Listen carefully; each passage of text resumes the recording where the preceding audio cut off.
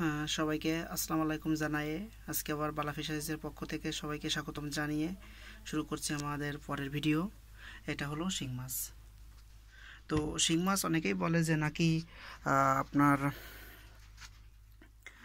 সাধারণত কয়টা কেজিতে হয় না? যে আঠারোটা বিশটা নিচে কেজিতে আসে না। তো আমরা বলি যে না আমাদের মাছ যদি আমাদের কাছ থেকে পোনা সংগ্রহ করেন তাহলে আমাদের মাছটা আট থেকে দশটাই কেজিতে হবে। তো আমি একটা মাছ এখানে দিয়েছি মাছটা এখনও জীবিত আছে। মাছটা একটু দেখেন যে কোন সাইজ তো এই যে একশো চার গ্রাম আছে। এখানে কোনো কারসপি নাই কিংবা কোনো ওয়েট আমি দিই না এখানে। এই যে আমি এবার ছেড়ে দিলাম, একশো চার গ্রাম আছে। মাছটা এখনও জীবিত আছে।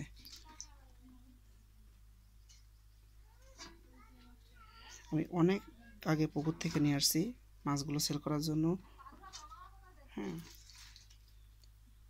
তো যদি একরকম দশটাই কেজিতে আসে, তাহলে তার দাম আসে সাড়ে চারশো টাকা। তাহলে একটা মাছের দাম দেখেন, প্রায় ছেচল্লিশ টাকা।